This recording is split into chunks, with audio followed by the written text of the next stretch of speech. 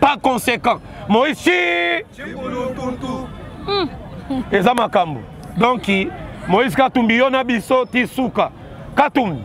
Église catholique avant na boyina na harmoncele nyonso na catholique tokoma mpe na catholique katumbi lobi na mitingo loba regime oyo bakangi conseiller na ngai ololobela ata bakangi bacongolais me oloba conseiller na ngai tala moto alingi akoma président un jour au lieu à défendre la république la population mais lui se permet ya kodéfendre une personne individu moko pas conséquent moisi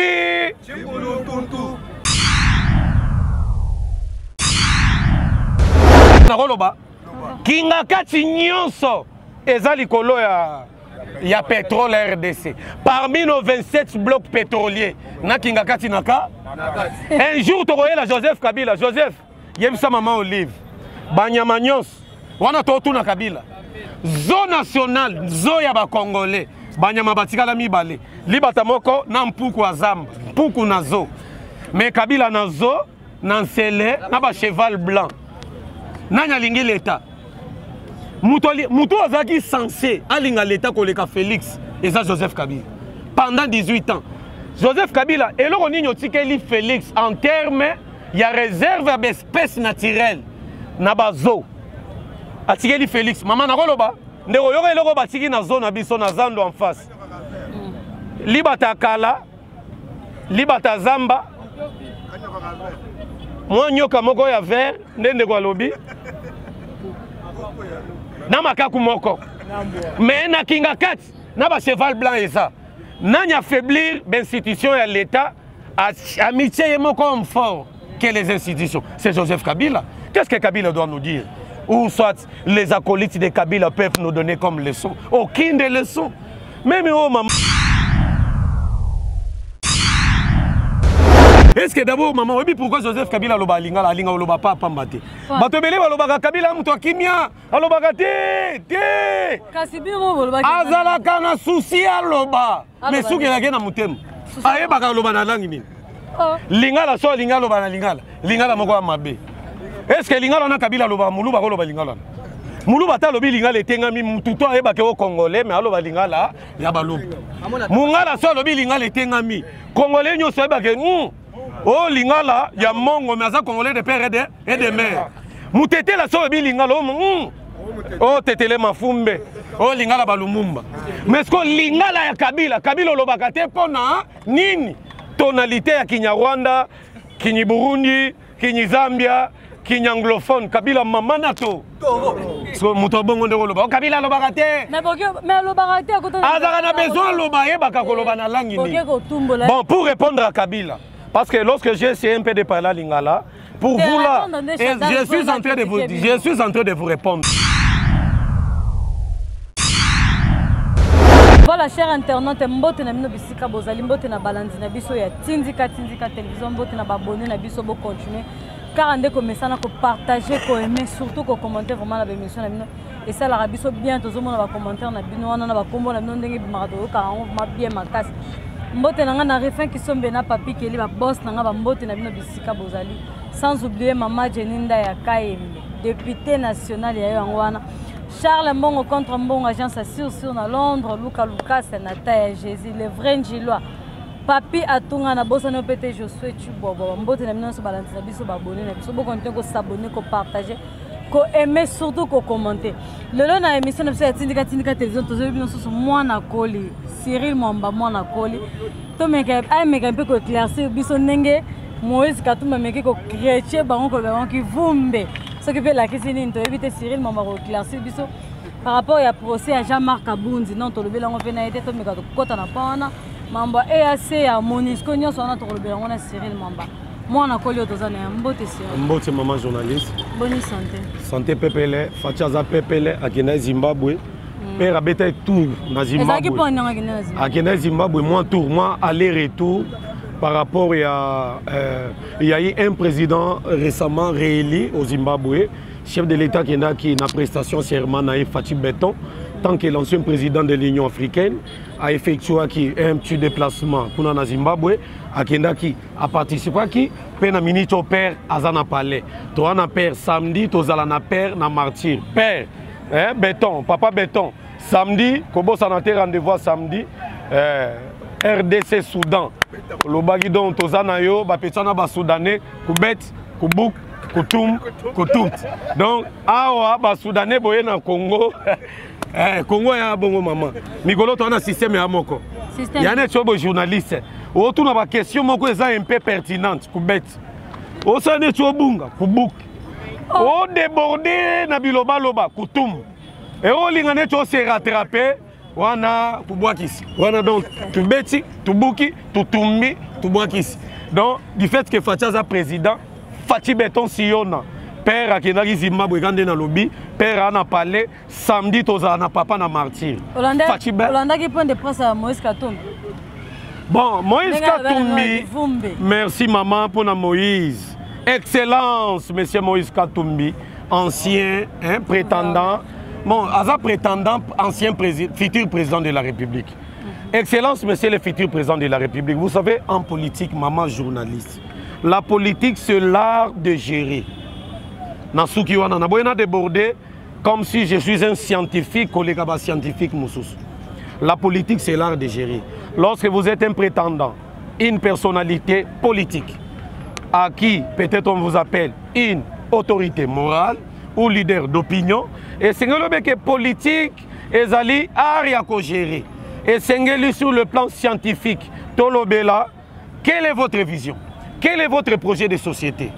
dans les jours à venir vous voulez devenir un jour président de la république vous allez apporter à la république quel projet de société c'est ça être leader d'opinion mais quand vous avez un projet de société alongwe un contrat social quand vous avez lobi katumbi un meeting pour tout répondre katumbi moïse katumbi faci aza na niveau na yo te même sur le plan ya leadership même sur le plan ya représentativité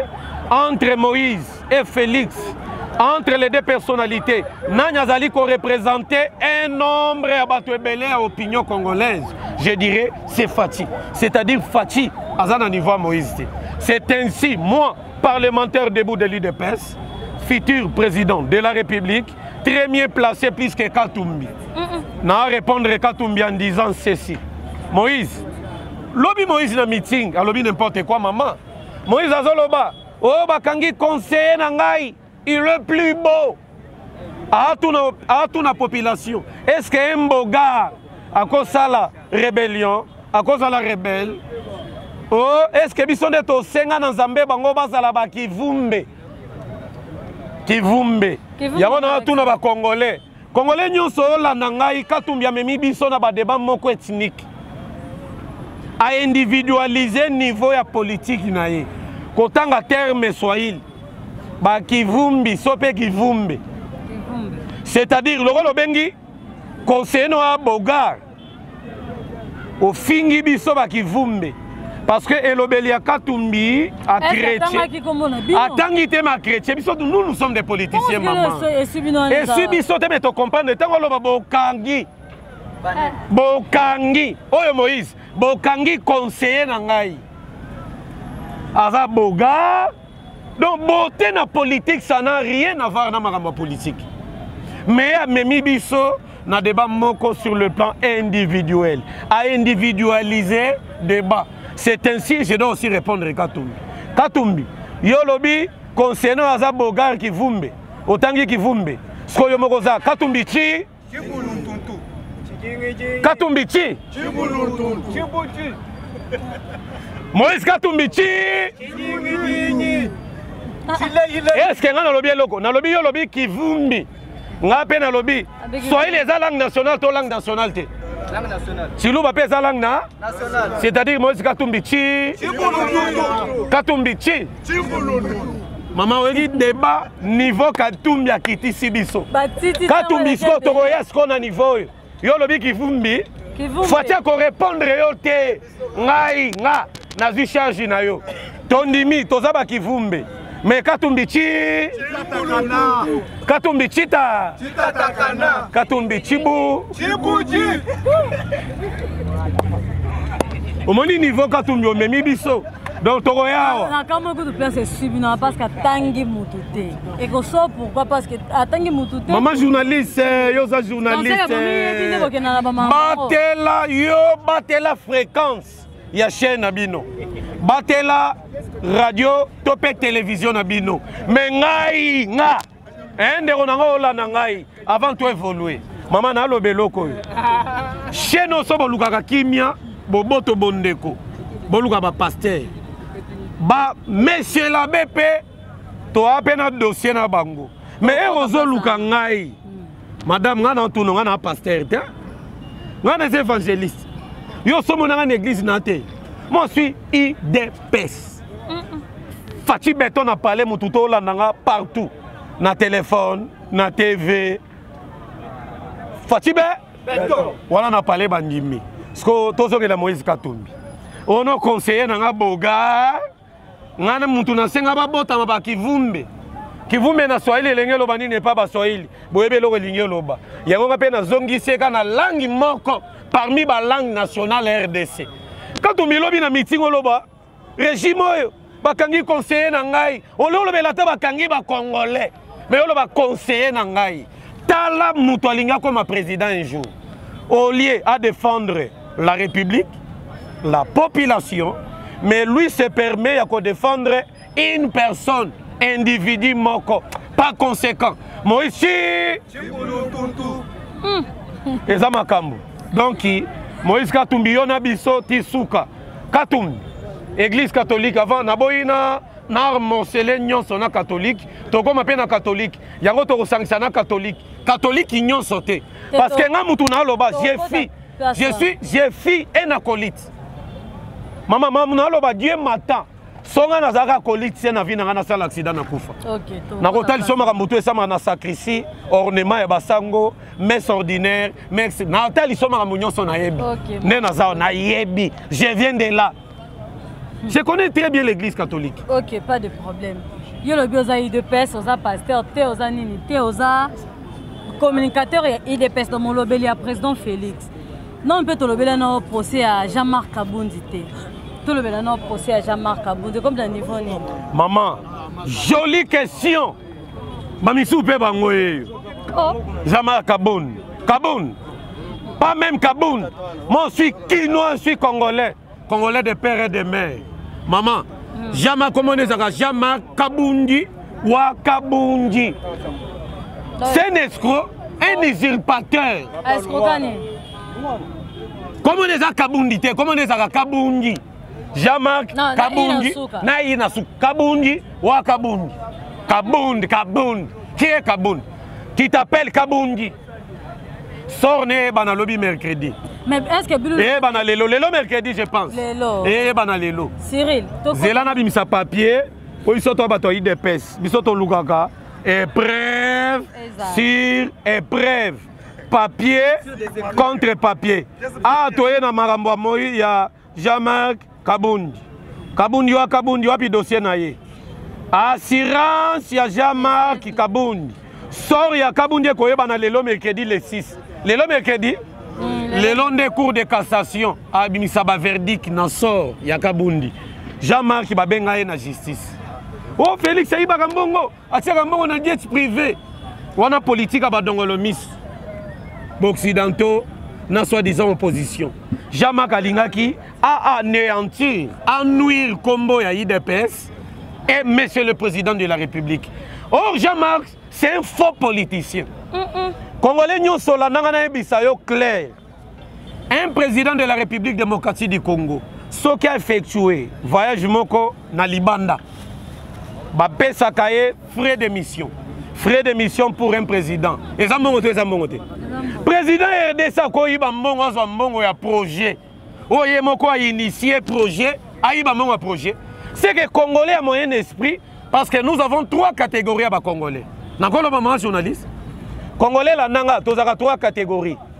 toza na premier catégorie bacongolais ya ba sans esprit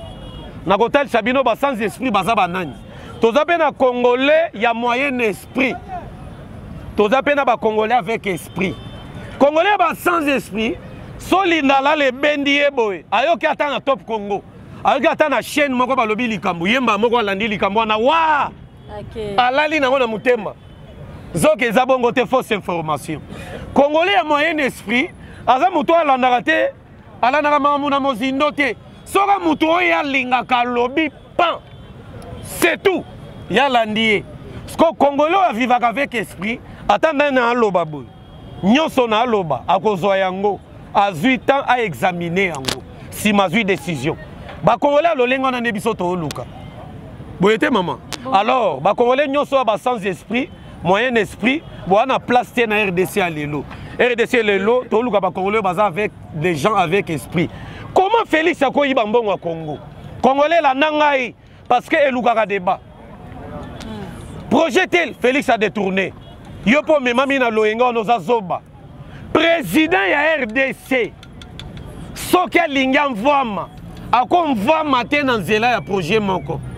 akobengaka nous avons combien de blocs pétroliers na rdc à l'époque ya kabila eyebanaka te lelo congolais aloba nous avons 27 blocs pétroliers yo yo congolais yo oyebaka ngo lepoka ya kabila c'est grâce à faci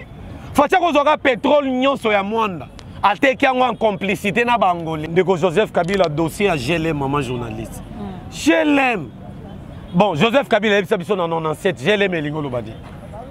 tala toyebani vie oa vie na biso oyakini kala ancien président 18 ans oza na kingakati bapalais bamoto mais biso bakinois yoko okosa biso te est ce que dabord mama oyebi pourquoi joseph kabila aloba alingala alinga oloba pa pamba te bato ebele balobaka kabila moto ya kimia alobaka te te azalaka na susi aloba mais suki elaki na motema ayebaka aloba na langi nini oh. lingala so alingi aloba na lingala lingala moko ya mabe estce lingala wana kabila alobaka moluba akoloba lingala wana muluba ata alobi lingala etengami mutu to ayebaka o congolais me aloba lingala ya baluba mungala so alobi lingala etengami congolais nyonso ayebaka o oh, lingala ya mongo me aza congolais de père ede ede mère mutetela so oyebi lingala o oh, o oh, tetele mafumbe o lingala balumumba mais ko lingala ya kabila kabila olobaka te mpo na nini tonalité ya kinyarwanda kinyiburundi Kini Zambia, kini anglophone, Kabila mama nato.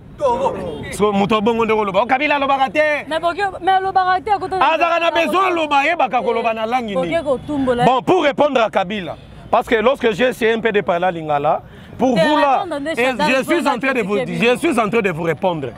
Je réponds d'abord à Kabila. Mhm. Parce que ses acolytes vont dire peut-être non, les gens là de l'IDPS, les gens de sous le bois, comme ils, sont toujours habitués à dire,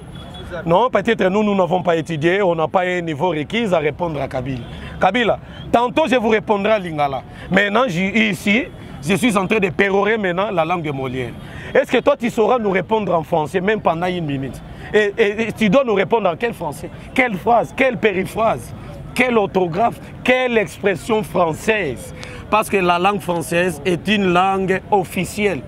Les intellos français, les intellos congolais, pourrais-je dire, les intellos congolais, comme la langue française est une langue officielle en République démocratique du Congo, c'est-à-dire lorsque vous êtes une autorité morale d'une formation politique, vous devrez de temps à autre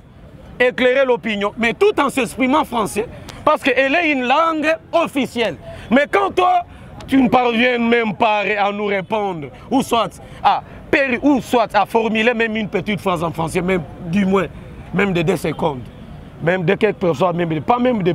trois ou deux, parages. C'est-à-dire tu es un con, tu es un ignare. Joseph Kabila, c'est un ignare de naissance. C'est un ignare. Joseph Kabila est ni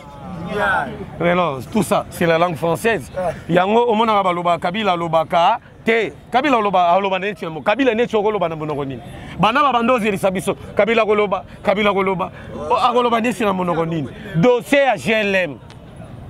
mama omoni glm so oza na clinique ngaliema batya barrière ti okobaluka na nsima ote di fleuve intercontinental eh, ancien hôtel ya baaméricain ekoma ya bacongolais c'est la même chose na hamilton boro etongama na boulevard esi esili chef de l'état ake koinaugure eloko ya l'état tosigne partenariat individu moko atongi mokolo hj hôpital ya première rue eh, mokolo mercedes eh, usine wana tout ça mais yayi des gens eh, mais ngai napesi yo news ti ça c'est lit de peste awa ah, news okozwa na mozindo eh, yo mpe moto olanda zwa news na mozindo c'est lui la même personne la même personne hj na hôtel wana chef de l'état inauguraki eza bapartenariat dona dona entre l'état et un groupe ya ba, eh, ba, ba investisseur ezongela mama grande hôtel ekoma ya l'état to ekoma ya l'état te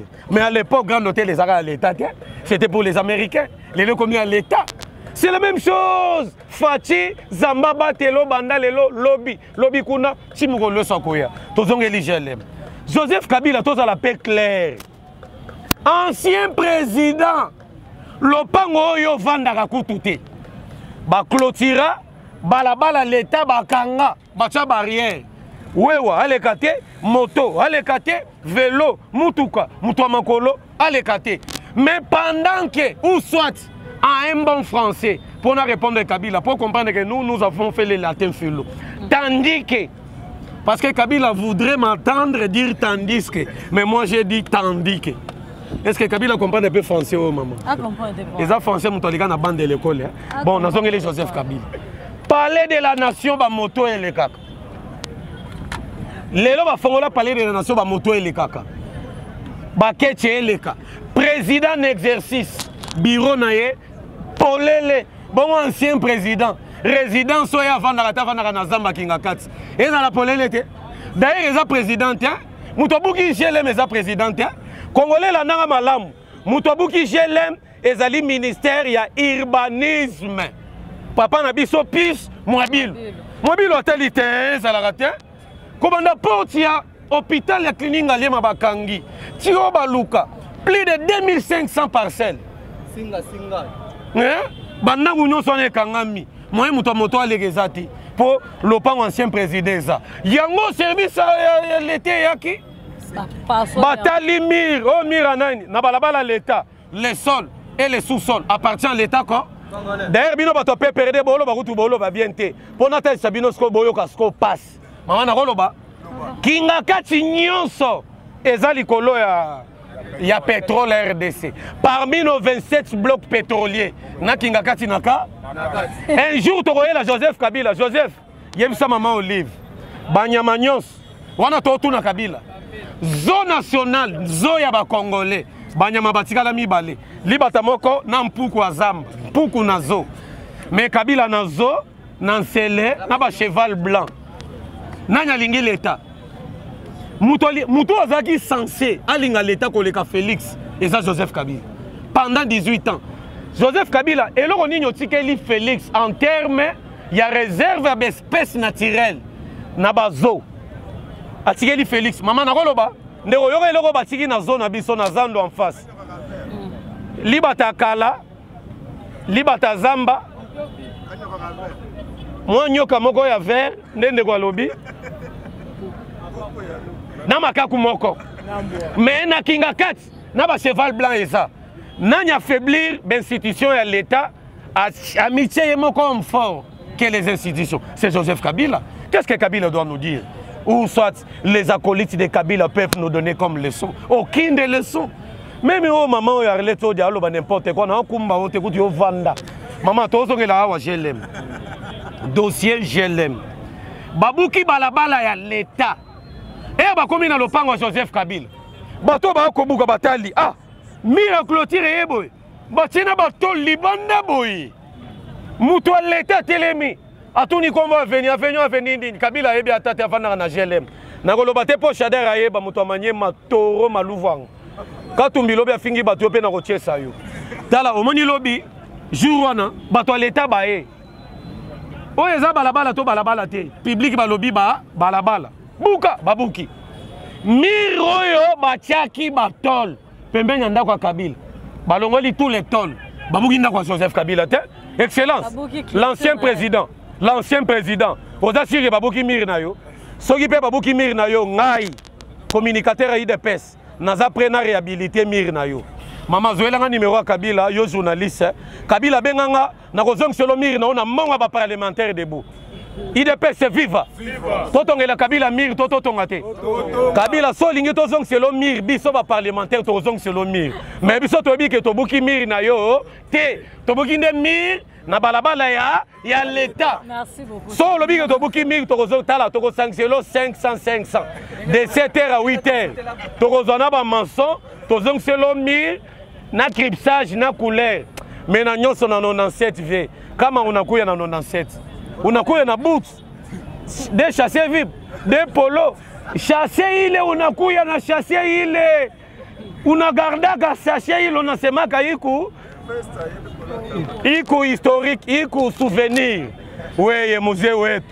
uta tu dirige pendant 18 ans en désordre joseph kabila weye chimbulu eh, tokomi okende na suka emission biso tokomi okende na suka vraimen emission biso biso mwa ta mingi tokende par rapport ka inauguration ya ba maternité koboto fele est ce que oza vraimen sûr ke tour oyo gratuité ya maternité koresir mais mama oye lisu na dossier yo nde oza moluki makambo chaîne oyo eza chaîne ya baproblème awa baye na gratuité kilombo ndeko avant tolobela gratuité ya maternité tobanda d'abord pendant mandat ya chef de l'état tosengaki 9 bateau de pêche parmi bacongolais nyonso olanda ngai ça c'est une information vérifiable vrai vrai vrai vrai rdc dampe de moi awa dans quelques mois tozali ko réceptionner plus de 4 bateaux de pêche toujours chef de l'état alingi nini poisson eutaka mama olive na kabila babengisi na namibie esali 8 mois na masuwa batie formol congolais alingaki akufa na 70 akufi na 52 ans likolo ya formol fati alobi te motu na motu akokufa na dati na c'est-à-dire consommant bio boye to boye te tozo consommer bio ezala na église église au congolais akokota église bio ah. pasteur congolais église ya bayindo église ya bacongolais église nyonso ya bapaya ezali formol tozongeli bio chaque congolais consommant bio boye to boye te wana makambo église est ce que natangi komo église église nyonso ya bapaya bacongolais tokosalela yango te tozongeli baeglise na biso ya bokoko bamukuna bakadima bakimpambu bakimbangu tozoya ti wana mama zala lese bon mpo toganye temps tozoyi na maternité mm. ndenge bateau de pêche eza koya mama eza verbe manger te nous allons conjuguer le verbe manger au temps présent avec félix c'est-à-dire ere babateau de pêche ezokoma ngai cyril mwamba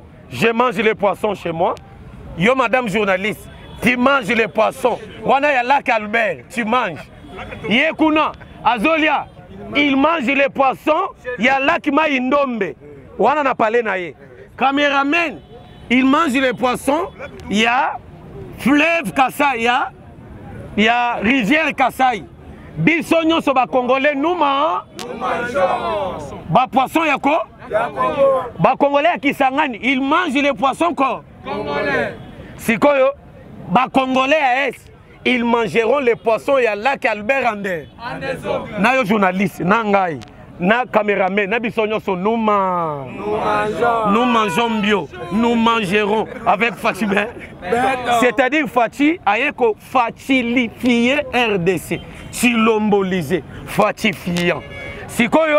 différence entre fatisifie et fatisifiant quelle est la différence lobi tovandi boye mokwa ntombolo fati beton le président le plus gratuite oh le père de la gratuité dans le monde fati beton tala motu tala kingo tala kitoko bakos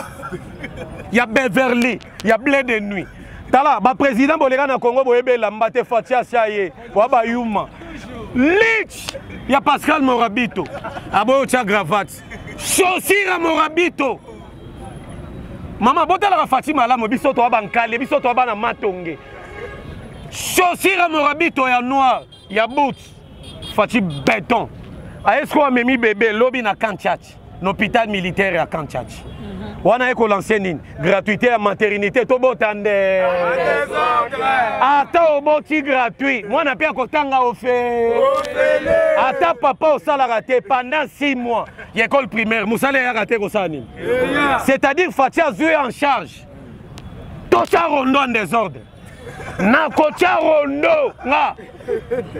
na bando banga lepoke ya kabila parce que nani akozwela nga mwasi en charge mwasi akende kine 60 000 mwasi akende babenga yo nini échographie 80 000 mais faci alobi nyeti foti alobi pandeke nao na bangi ofuta yo te yo chomere okobota ofuta te c'est-à-dire luka mwasi ya kitoko mwasi ya poli tya eziemi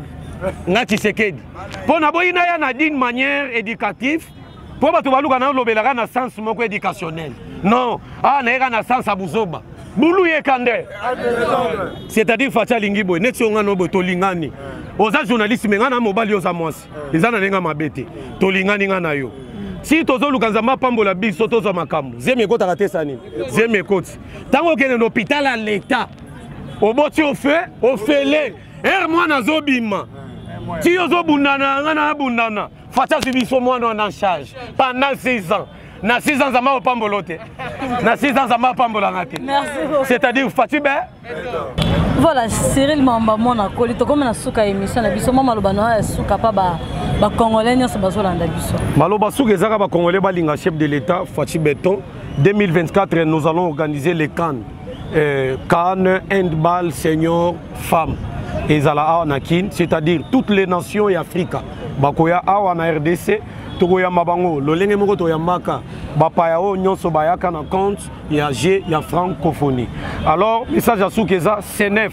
le 9 oyo ça sera le samedi chef de l'état congolais fati beton akoya na match ya suka oyo toza nango awa na stade de martyr na compte éliminatoire ya kane mais na remercier chancel mbemba makambo lobi lobi mon grand frère na bajoueur na biso nyonso boye lobi boleki ebele moyen totanga nkombo na bino eza te baprofessionnel oyo boye ebele esali nga bien fort lobi vol joueur aye vol joueur aye esali biso bien bakongole tosepeli tous les joueurs oyo boye boevoluaka libanda boye mpo na match ya samedi nzambe apambola bino biso bacombattant de l'idps nous serons toujours là derrière vous et le président lui-même le président de la république sera aussi là et avec nous la population congolaise basoudanais bazwa ata 2 minutes ata koexploite ballon te bakongole boye to boye te bakongole boye to boye te mama eza match ya suka contre le soudan ah, alors yo moïse katumbi makambo tolobela soudan etali yo te oza mopaya likambo ya bandeko likambo etali bandeko mama eloko na ngai nabosana loi chani awa na septembre chani alobaki lobi alobi mpo na likambo ya loi na ye eza priorité de priorité vie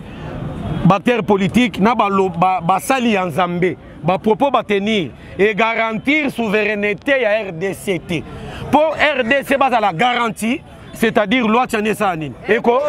c'est-à-dire noel tchani bacongolais de prd fatibe pour chite mo ya suki ezaka ke maman papa yo moto olanda biso maman lingaka fati koleka mobali na yo yo mpe mobali lingaka fati koleka mwasi na yo bino mpe bana bolingaka Felix koleka papa na bino na mama na bino c'est-à-dire Felix ye nde tata na biso na mboka oyo yo moto olanda nga Fatshi be Moïse aza étranger Katumbi étranger bango nyonso ba maluva Fatshi be merci beaucoup mwana kole merci na bino balandi na biso babone na biso bokontinue vraiment kopartage kosabone na tindika tindika télévision merci na rabi lema na nsima ya caméra merci na biyumbuyi bambote na bino ekipe mobimba ya tindika tindika sans oublier kapa le grand technicien merci na bino babone na biso tokutani prochainement merci bye